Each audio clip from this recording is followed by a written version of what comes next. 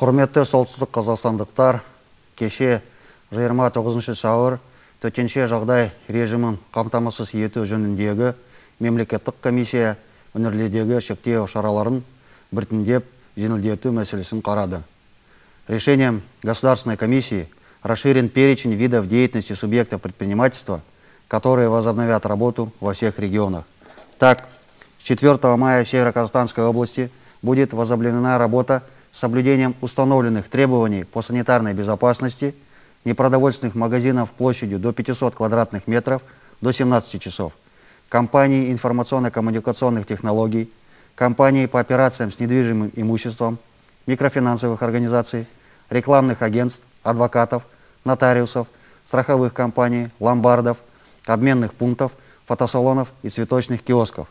По записи начинают работать стоматологические клиники, все оставшиеся медицинские центры, в том числе частные, а также парикмахерские. По эпидемиологическим показаниям это не касается других видов услуг в салонах красоты, маникюра, педикюра и других, только услуги парикмахеров. Время работы для всех указанных предприятий в прежнем режиме. Для начала работы предприятий никаких заявлений никуда подавать не нужно. Все предприятия уже находятся на учете в Акиматах. На всех объектах должно сохраняться ограничение по единовременному пребыванию посетителей, производиться ежедневная санитарная обработка помещений. В тех объектах, где осуществляется прием по записи, должен быть только записанный клиент, ожидающих людей быть не должно. Напоминаю, что в случае нарушения режима чрезвычайного положения, а также санитарно-дезинфекционного режима, предприятия, находящиеся в указанных перечнях, помимо административной ответственности, также будут приостанавливаться. Санитарные службы и акиматы ведут на местах соответствующий контроль. Как и раньше, добираться на работу следует либо личным транспортом, либо при количестве более 50 человек на предприятии это должны обеспечить работодатели на нанятом транспорте с обеспечением санитарных норм. Общественный транспорт пока работу не начинает. В связи с большим потоком людей принято решение возобновить передвижение по городу, имея при себе справку с места работы и путевой лист. Сразу следует отметить, что перемещение между районами, в том числе и въезд в город Петропавловск, запрещен. Соответственно, работодатели должны учесть этот момент. По всем вопросам, возникающим по работе предприятий, необходимо обращаться по телефону в отделы предпринимательства местных акиматов. Таким образом, еще 13 тысяч североказахстанцев на 2400 предприятиях вернутся на свои рабочие места. Кроме того, разрешены индивидуальные спортивные занятия и тренировки граждан на улице. То есть каждый гражданин имеет право только индивидуально заниматься во дворе, на прилегающей территории, возможны пробежки по тротуарам на улицах. Дети должны заниматься только под присмотром родителей. Здесь также сохраняется основное требование по санитарной безопасности и дистанции в 2 метра. Собираться нужно не более трех человек в одном месте. Тренировки в группах, а также в закрытых помещениях не разрешены. Спортивные профессиональные клубы будут заниматься по отдельному алгоритму после утверждения Министерством культуры и спорта. Кроме того, на следующей неделе возобновляются пассажирские авиарейсы в аэропорт города Петропавловска.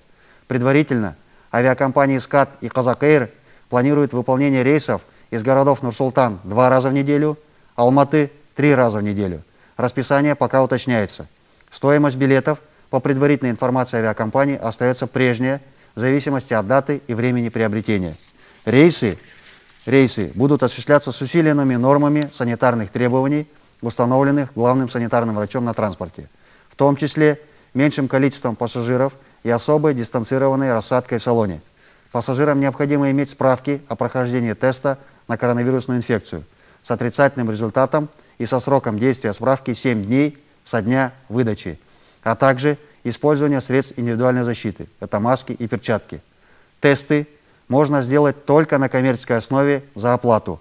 По городу Петропавловску данный вопрос пока отрабатывается по линии Министерства здравоохранения. Вместе с тем, по рекомендации главного санитарного врача страны, рекомендуется воздержаться от вылетов, если нет срочной необходимости. Уважаемые земляки, 4 апреля был зафиксирован последний факт заражения инфекцией среди жителей нашей области. После этого были только завозные случаи.